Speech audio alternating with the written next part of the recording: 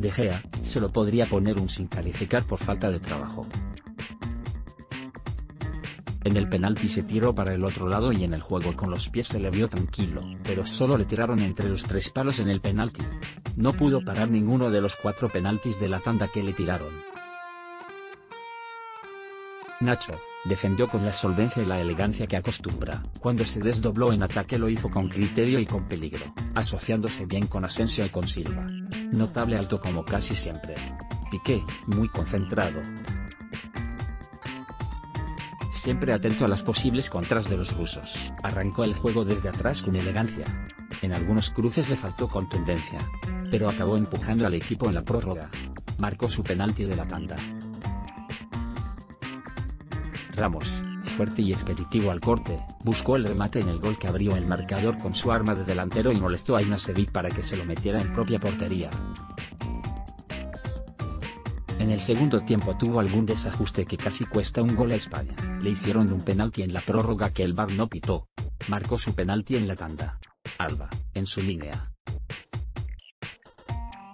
Es uno de los pasillos de seguridad de España y su jerarquía y peso en el juego provocan que la selección ataque más por la izquierda. Y en defensa estuvo atento y rapidísimo para cortar las contras de los rusos. Busquets, cogió la posición y a partir de ahí fue el mitrónomo que dirigió el tempo del partido. Definitivamente, Sergio juega más a gusto con Coque de escudero. Empujó al equipo en todo momento, pero faltó movilidad en los de arriba. Coque, equilibrio y calidad. Derrocha coraje y corazón en cada acción y le da vigor y empaque a la selección. Aguantó bien al equipo todo el partido y probó el tiro de lejos. Falló su penalti de la tanda, el tercero de España, lo paró el portero ruso. Asensio, la gran sorpresa del once, Hierro sentó a Iniesta en una decisión histórica para dar entrada el centrocampista mallorquín, llamado a marcar una época en la selección.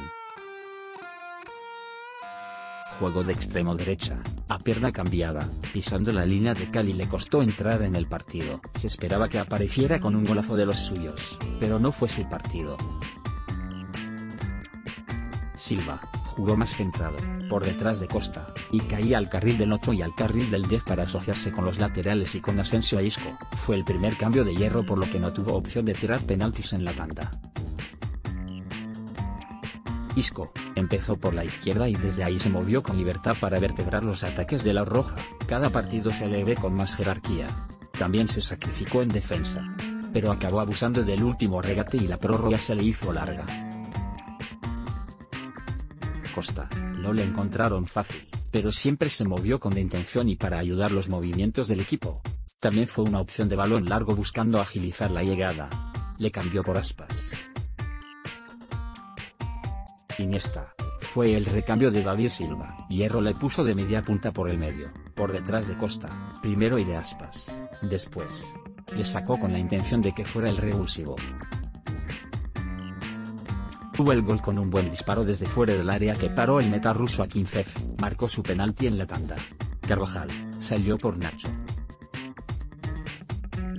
Seguramente Hierro buscaba darle más mordiente al ataque por la banda derecha, pero Dani no acabó de conectar con Asensio, que se pasó muchas fases del partido sin tener presencia en el juego. No acaba de encontrar su tono, pero lo dio todo en la prórroga. Aspas, se fajó con los centrales rusos desde que saltó al terreno de juego. Cada minuto que disputa Yago lo hace como si fuese el último y lo intenta aprovechar al máximo. Falló su penalti en la tanda, el quinto y definitivo. Rodrigo, primer cuarto cambio en la historia de la selección. Hierro aprovechó la nueva regla de la FIFA para sacar a Rodrigo por Asensio, con la frescura de llevar 100 minutos menos en las piernas que sus rivales. El delantero del Valencia hizo un jugadón por banda derecha en la segunda parte de la prórroga que mereció el gol, pero le respondió a 15 con una gran parada en la mejor intervención del cancelero ruso.